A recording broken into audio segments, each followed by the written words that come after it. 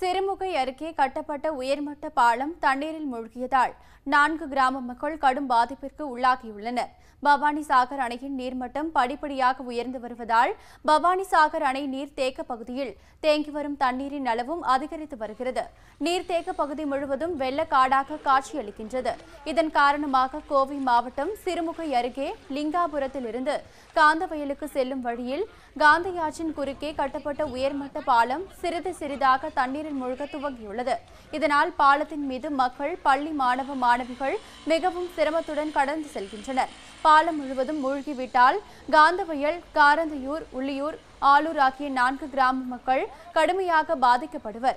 காந்தவயல் பகுதியில் இருந்து பரிசல் மூலம் பவானி ஆற்றை கடந்து லிங்காபுரத்திற்கு செல்ல வேண்டிய நிலை ஏற்பட்டுள்ளது. எனவே கிராம மக்களின் நலனை கருத்தில் கொண்டு பாதிக்கப்பட்ட கிராம மக்களுக்கு மாற்று ஏற்பாடு செய்து தர வேண்டும் என்று பொதுமக்கள் அரசுக்கு கோரிக்கை விடுத்துள்ளனர்.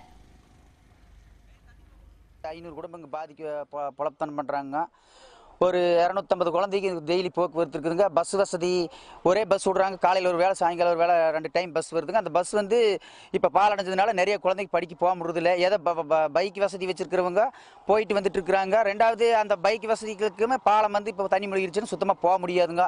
இங்கே கிட்டத்தட்ட நூறு குழந்தைக்கு பாதிக்கப்பட்டு படிப்ப படிப்புக்க வழி இல்லாமல் இதனால் எடப்பாடி அரசு கவர்மெண்ட் எங்களுக்கு வந்து ஏதோ ஒன்று பார்வையிட்டு ஏதோ ஒன்று செஞ்சு கொடுக்கும்போது நாங்கள் ஊர் பொதுமக்கள் கேட்டுக்கணுங்க உண்மை செய்திகளை உங்கள் கண்முன் கொண்டு வரும் காவிரி நியூஸின் யூடியூப் சேனலை சப்ஸ்கிரைப் செய்யுங்கள்.